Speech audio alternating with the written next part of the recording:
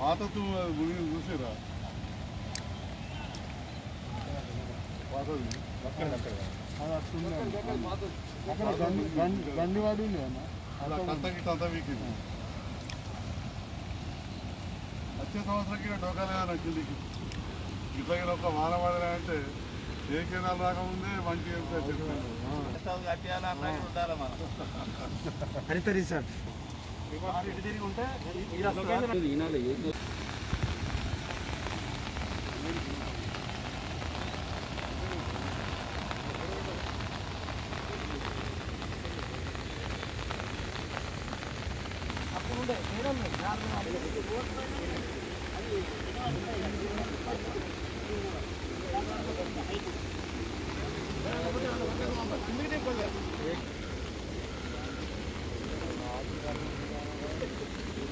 Outflow తగ్గించారంట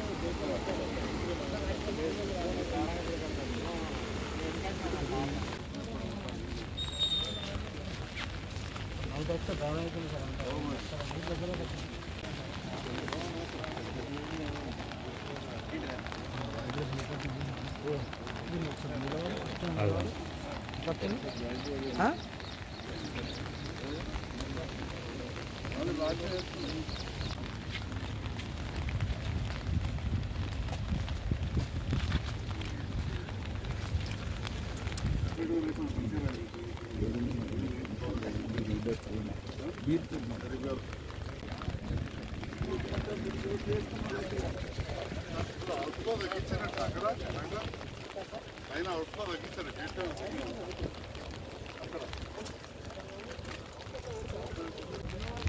నమస్తే. మాకంటే నీ ఫోటోలు వెయ్యి రేట్లు ఎక్కువ. మా మా కూడా ఐదు వేలు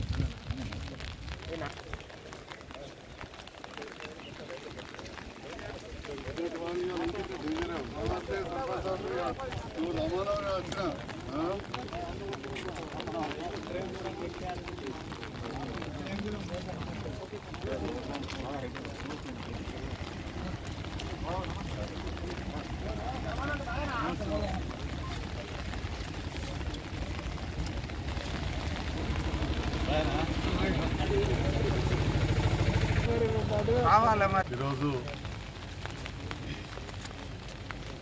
సారంగాపూర్ మరియు బీర్పూర్ మండలాలలో వర్షం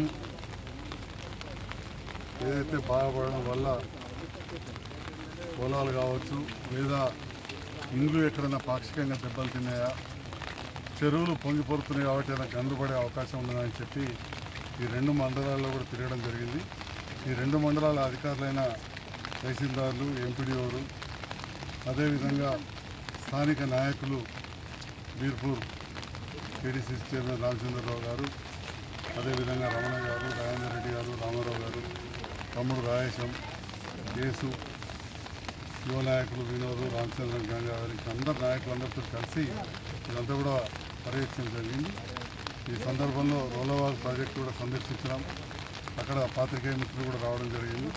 రోలవాగు ఎప్పటి లేని విధంగా ఈసారి పూర్తిగా ఎయిటీన్ ఫీట్ రాకముందే వర్షంకే zero point three five TMC నీళ్ళు రావడం జరిగింది. Zero point three five TMC అంటే ఎప్పుడు కూడా zero point two five TMC దాటలేదు.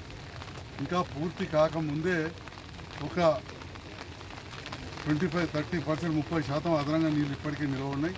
దాని ద్వారా అటు బుగ్గ చెరువు మరియు రోళ్ళవా కలిసిపోయినాయి. ఆ బుగ్గ చెరువు తూము నుంచి కమ్మనూరు వరకు ఈసారి నీళ్ళు వచ్చే అవకాశం ఉంది.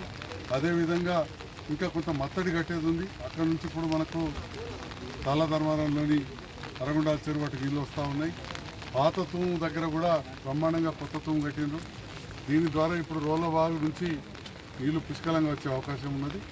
అక్కడ నుండి ఇప్పుడే ఈ కమ్మనూరు వద్ద గోదావరి ప్రవాహం నిన్న డేంజర్ లెవెల్కి వచ్చిందని చెప్పి తెలియవచ్చింది. మా అధికారులు ఎస్ఐ గారు కావచ్చు తహసీల్దార్ గారు ఎంపీడీఓ అందరూ కూడా ఇక్కడ ఉండి స్థానిక ప్రజాప్రతినిధులను కోఆర్డినేట్ చేసుకొని ఇక్కడ రాత్రంతా కూడా ఇక్కడ ఉండడం జరిగింది. ఎలాంటి దేవం భగవంతుడి వల్ల ప్రాణ నష్టం ఈ ప్రాంతంలో జరగలేదు. కొంత అజాగ్రత్త వల్ల నిన్న అనంతరం బాబులో కొట్టుకుపోయిన వాళ్ళు పోలీసులు రక్షించారు. ముప్పారం చెరువులో ఒక వ్యక్తి గల్లంతైనట్టు తెలియవచ్చింది. జగిత్యాల మండలం ముప్పారం చెరువులో. ఇక్కడెక్కడ కూడా మనుషులకు నష్టం జరగలేదు కానీ కొంత పంట నష్టం జరిగింది. ఏదైతే నాట్లు వేసుకున్నారో అవి దాదాపు రెండు వందల ఎకరాల్లో పోయినాయని పోల్స్ కరెంట్ పోల్స్ కొంత పోవడము ట్రాన్స్ఫార్మర్లు దెబ్బతినడం జరిగింది.